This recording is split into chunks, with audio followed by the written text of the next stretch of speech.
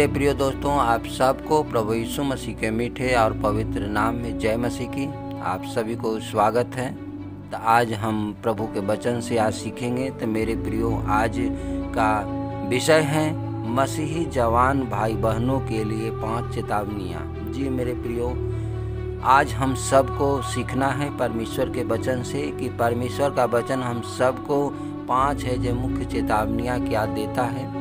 और सच में अगर हम परमेश्वर के वचन से अपने जीवन को चलाते हैं तो हमारा जीवन है जो परमेश्वर की इच्छा से चलता है और वो प्रसन्न होकर के बहुत सी आशीष को देता है, जो हम सब अपने जीवन में अनुभव करते हैं। तो मेरे प्रिय दोस्तों, आज आप इस वीडियो को पूरा देखेंगे और अंत तक देखेंगे, ताकि आप है जो समझ पाएँगे कि वो कौन सी पाँच है जो चेतावनियाँ हैं जो हम सब मसीही भाई बहनों के लिए हो, विशेष करके जवानों के लिए, वो जानना ज़रूरी है कि पाँच चेतावनियाँ क्या हैं। तो मेरे प्रिय दोस्तों, हम आगे को देर न करते हुए हम परमेश्वर के वचन की ओर चलेंगे।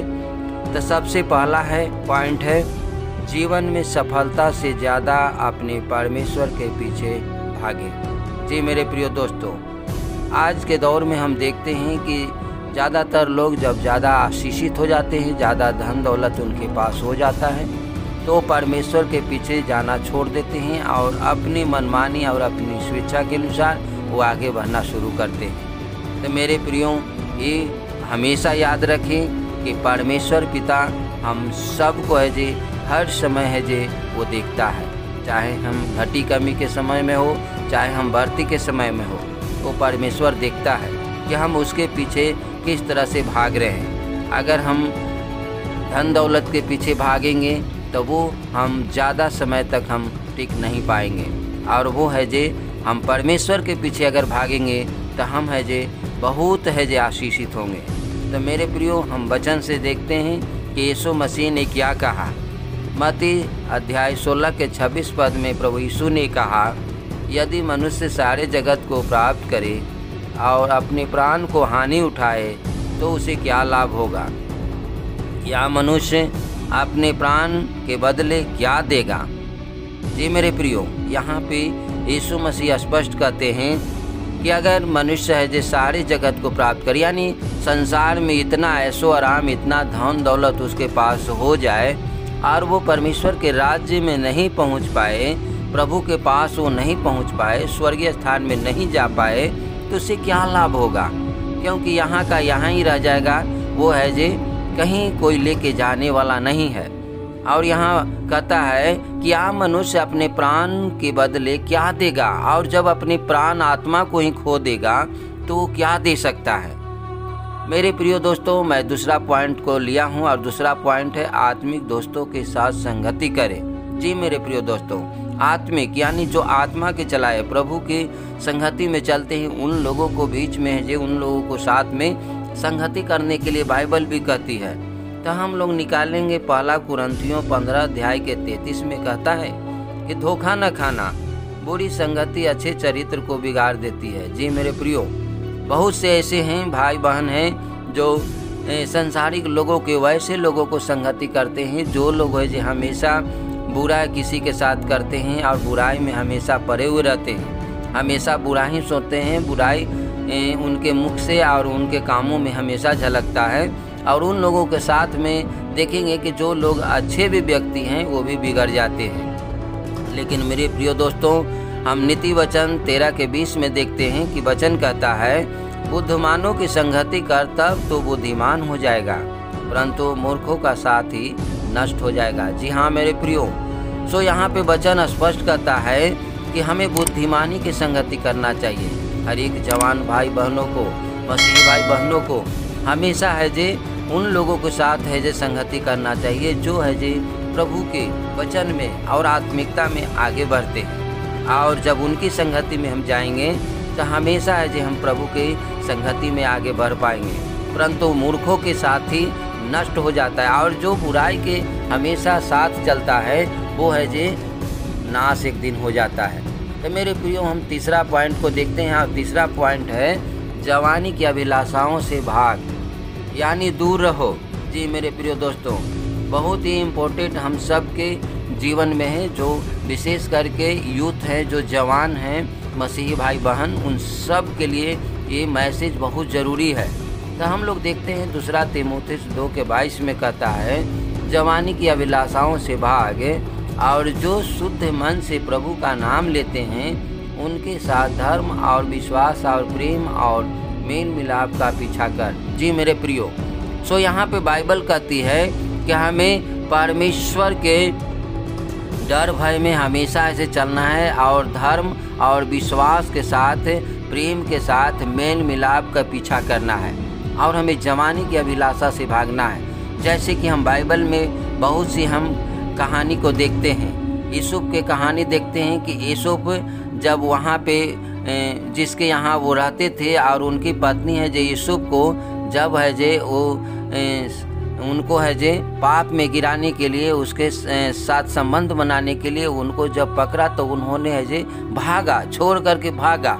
उन्होंने जो उस बुराई के रास्ता को, उस पाप को, व्यभिचार को उन्होंने नहीं चुना, उन्होंने परमेश्वर की डर, भय में उन्होंने जाना कि ये बहुत बड़ा गुनाह है और उन्होंने भागा।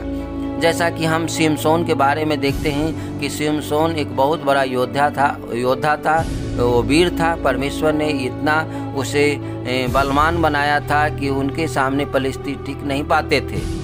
परंतु वो महिलाएँ के, वो औरत के, वो चक्कर में है जे, वो है जे पाप में गिरा और वो है जे नाश हो गया और उसका है जे बल है जे छीन हो गया। तो मेरे प्रियो, हम बाइबल से भी देखते हैं कि हमें जे जवानी की जो भी लाशा होता है, वो हमें फूक फूक के कदम रखने के योग्य होता है।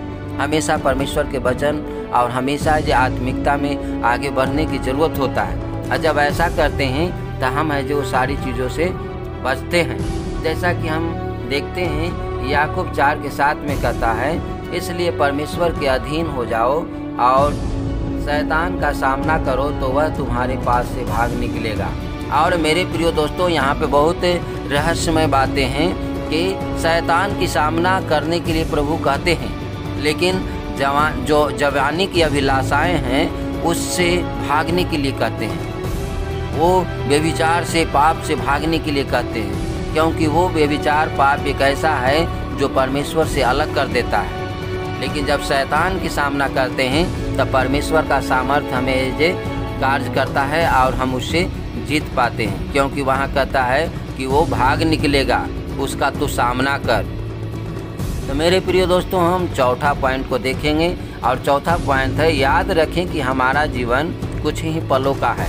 जी मेरे प्रिय दोस्तों, यहाँ हमेशा के लिए कोई हम सब रहने को नहीं आए हैं। एक न एक दिन हम सब है जे यहाँ से चले जाएँगे, क्योंकि हम आप सब का परमेश्वर पिता है जे। आयु और समय को निर्धारित किया है। तो हम परमेश्वर के वचन से देखते हैं, भजन संहिता 103 के 15 में देखेंगे कि वचन कहता है, मनुष्य की आयु घास के समान होती है, वह मैदान के फूल के समान फूलता है, जो पवन लगते ही ठहर नहीं सकता, और न अपने स्थान में फिर मिलता है। जी मेरे प्रियो दोस्तों हम आप, जो जवानी का दिन है, वो एक घास के समान है। जैसे हम घास को देखते हैं कि वो है जे, जब वो शुरुआत में वो बढ़ता है तो वो एकदम कोमलता के साथ हरा भरा खिला हुआ रहता है। लेकिन जब वो देखते हैं कि उसका आयु है जो, जब बढ़ता जाता है तो वो सूखे हुए की तरह होता है। वो सूख जाता है, वो मुरझा जाता है। वैसे ही हम आपका भी जवानी है। तो हम आपको जवानी में है जे, हमेशा है जे परमेश्वर पिता को वचन में और उनकी आज्ञाओं में आगे चलते रहना है। क्योंकि यहाँ लिखता है कि जो पवन लगते ही ठहर नहीं सकता और न अपने स्थान से फिर मिलता है। और हम आप जब एक बार, जब प्राण निकल जाता है शरीर से, जब एक बार छूट जाता है प्राण शरीर से तो वो फिर है जी, नहीं वापस आता है। तो मेरे प्रियो दोस्तों, हम एक अगला वचन को देखेंगे। याकूब चार के चौदह में कहता है और यह नहीं जानते कि कल क्या होगा। सुन तो लो, तुम्हारा जीवन है ही क्या। तुम तो भाप के समान हो, जो थोड़े देर दिखाई देती है, फिर लोप हो जाता है। हाँ मेरे प्रियो, सो यहाँ बाइबल कहती है कि हम आपका जीवन है, जो बस पल भर का है। कल क्या होगा हम आप नहीं जानते हैं। और बाइबल यहाँ स्पष्ट कहती है कि सुन तो लो, तुम्हारा जीवन है ही क्या।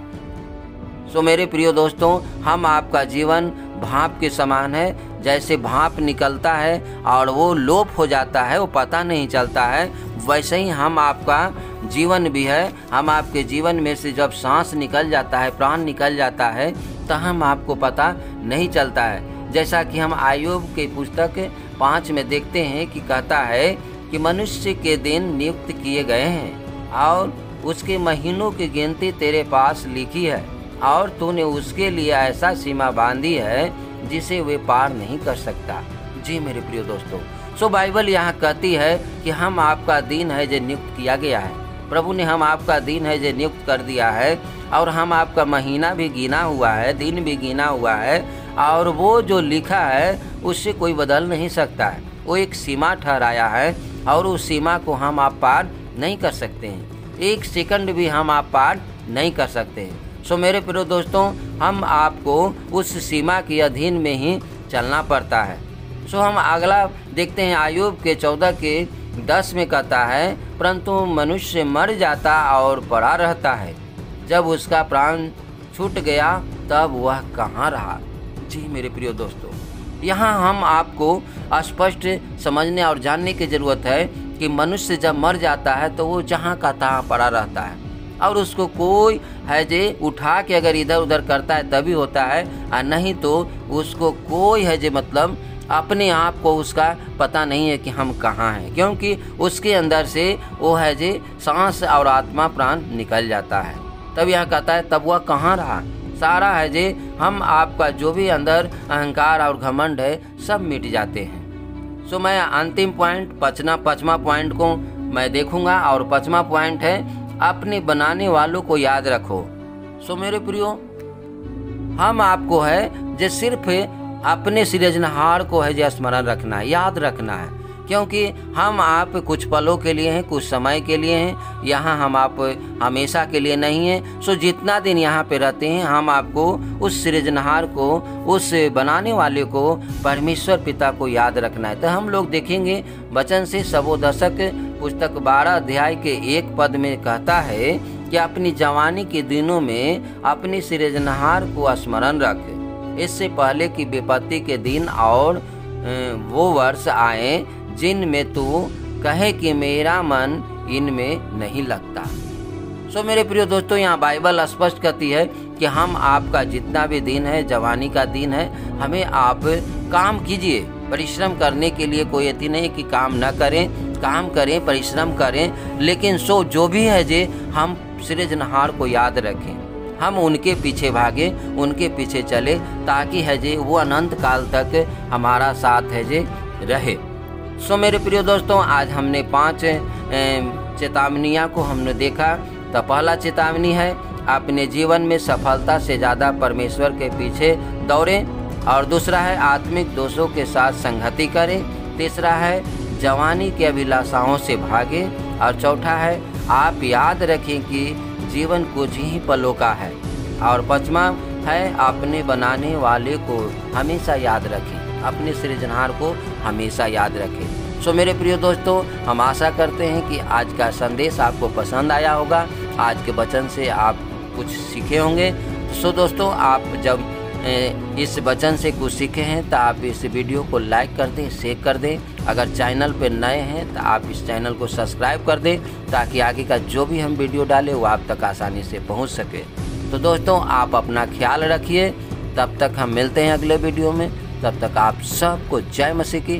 God bless you